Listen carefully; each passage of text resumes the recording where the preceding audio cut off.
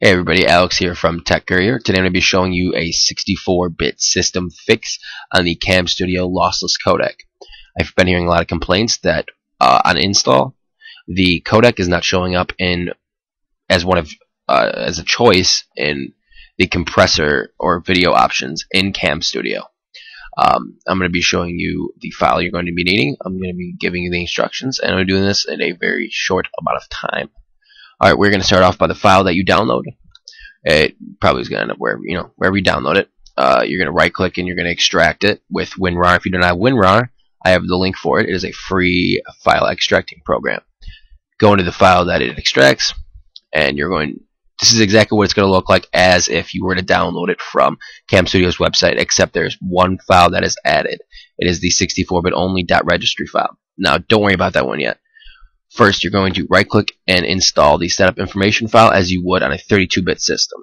It's going to install, do a couple things, and once that's once that's done, uh, you can go on to the next step.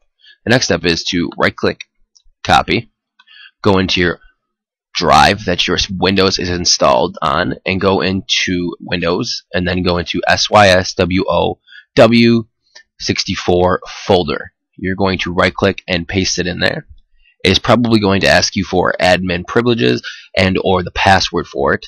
Uh, give it, obviously. If not, it's not going to allow you to copy, and this whole thing is pointless. So copy it there. And the last and final step to complete this process is to double click the 64-bit only registry file and is going to open up the registry editor. It's going to ask you, do you want to add this to the registry? You're going to say yes. Um, you're going to do whatever it asks to complete the process. And once it's done, it should give you a success window. Now, if you see that everything that you have done is complete and you have done it right, um, all you have to do is restart Cam Studio. You don't even have to restart your system. And you should be able to go into the video options and you should now see Cam Studio Lossless Codec, whatever version they are now on as we speak. I'm currently on version 1.4. Um, you may some people may be wondering why would you want to use the lossless codec. Personally, I think it's one of the best uh, things you can do because you can go back and re-encode the video with whatever uh, codec you would like. Like personally, I use H.264 because of the quality it outputs and the file size being so small. Eh, anyways, I'm not going to rant. I can make another video about that, but that's a separate subject. Thanks for watching. This has been a Tech Courier tutorial. Uh, as you always know, it is Alex, and today I have shown you how to fix the 64-bit issue.